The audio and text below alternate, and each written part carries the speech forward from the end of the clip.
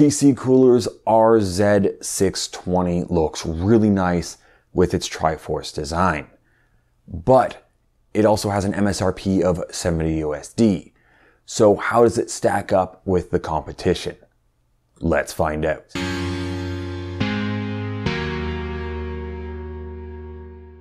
What's up everyone, Erik here and welcome to Hardware for Gamers. For those of you who are new to the channel, I test and review PC cases, CPU coolers, PC case fans, and graphics cards. Before I get onto the overview, to have full disclosure, CPS or PC Cooler did send me this cooler to test and review, but all opinions expressed in this video are mine and mine alone, so if you do end up liking the video, please hit that like button and subscribe to the channel. Let's go over what comes in the box. There is the heatsink and fans, of course. There is an installation guide, two sets of fan clips, a small tube of thermal compound, an extension cable, and mounting hardware for AMD and Intel. The included extension cable has a switch on it that can control the speed of the fans. There are three settings, silent, performance, and turbo. Silent sets the fans to around 1800 RPM, Turbo sets the fans to around 2200 RPM, while Performance lets the motherboard control the fans. Okay, taking a look at the heatsink. There is a black coating over the aluminum fins and six 6mm continuous heat pipes. The face of the aluminum fins, or the face of the heatsinks, has an interesting design that PC Cooler calls Triforce, which gives this cooler a very clean look. The cold plate is copper with the bottom of the cold plate being nickel plated. Now for the fans, the fans have no model name or number on them, but they are both 4 pin PWM fans with a daisy chain on them. They have 9 blades, they have little rubber pads on all the corners, and from what the box says, it does have a max RPM of 2000. The box also indicates that it is a fluid dynamic bearing. Now the dimensions of the RZ620 or RZ620, depending on where you live, I am Canadian, so I might be jumping between those. Just bear with me. So the dimensions of this cooler is 158 millimeters high by 130 millimeters wide by 140 millimeters deep. And that is with the fans attached. Based off these dimensions, there may be ram clearance issues with that front fan. With that 158 millimeter height, the front fan allows for a DIMM clearance of only 40 millimeters. So many non-ARGB DIMMs will fit, but some will not. Of course, the fan or fans can be easily moved up two to four millimeters, but you will need to add that number to the 158 just to make sure that your case can actually handle that extra CPU clearance height. For socket compatibility, the RZ620 is compatible with most mainstream Intel sockets, but it is not compatible with their HPC lineup. For AMD compatibility, it's compatible with AM4 and AM5. Moving on to how to install this cooler. I will be installing this cooler onto an AM4 motherboard.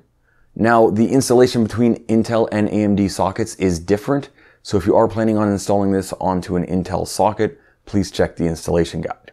As always, before you start, make sure you have a flat, clean, and sturdy surface. You should also have a mat, but in a pinch, you can use the box that your motherboard came in. You will need a PH2 screwdriver. You should also have some isopropyl alcohol and something to wipe with. And if you are installing this onto an AM4 or AM5 motherboard like I am, you will need the backplate that came with your motherboard. With the CPU installed into the motherboard, place the backplate flat on your mat then align the mounting holes on the motherboard to the standoffs on the backplate. With the motherboard flat on the backplate, find the AMD mounting standoffs and the AMD mounting bars. Screw the mounting standoffs into the backplate. Then align the holes on the AMD mounting bars to the threads on the standoffs, making sure that the mounting bars are facing in. Then find and fasten the screw caps over the mounting bars.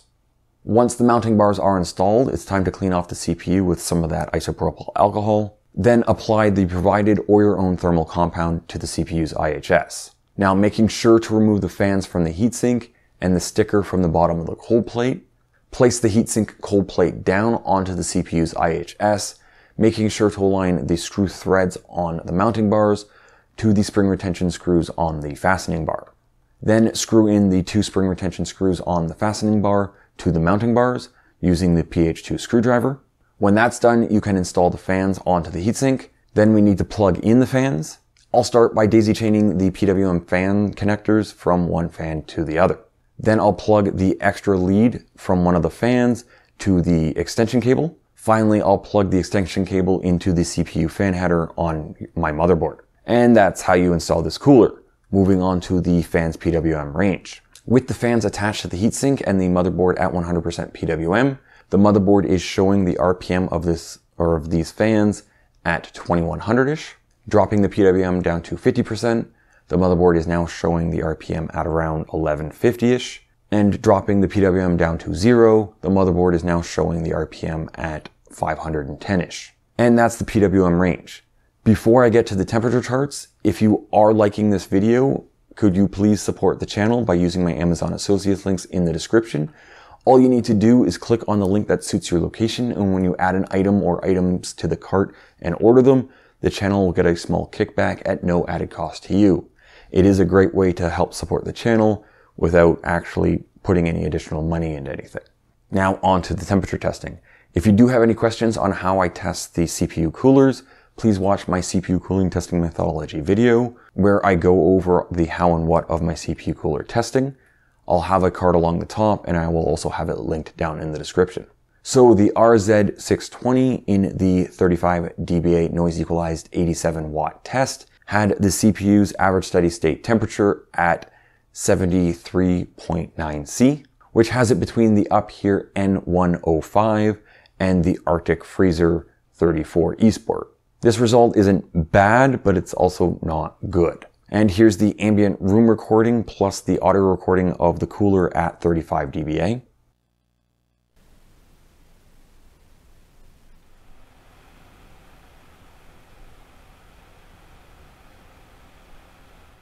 Then letting the fans run at full speed had the temperature drop to 72.9 C, so only a 1 Celsius difference between the 35 dBA and full speed tests here.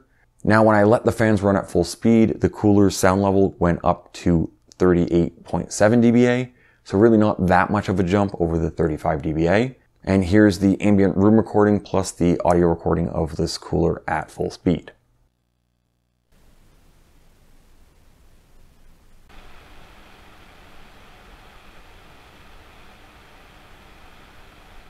Now for the 150 watt noise equalized test, the RZ620 had the CPU steady state temperature at 80.1 C, which again had it matching the Uphere N105.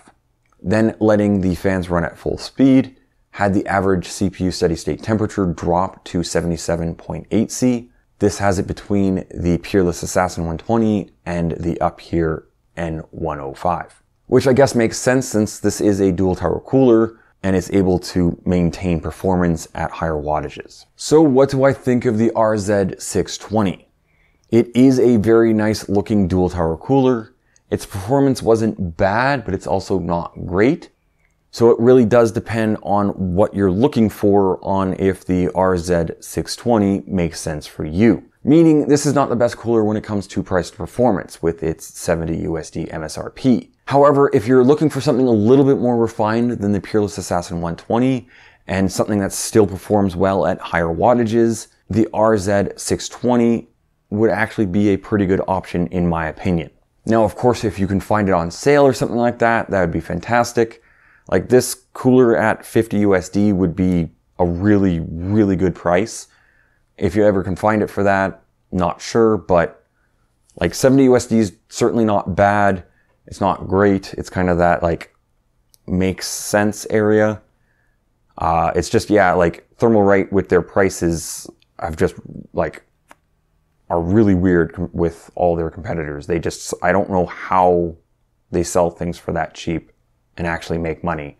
And I guess I'll just leave it at that. So if you liked the video, please give it a thumbs up. And if you're still watching and you haven't already, please hit the subscribe button and the bell icon so you get notified whenever I drop a new video.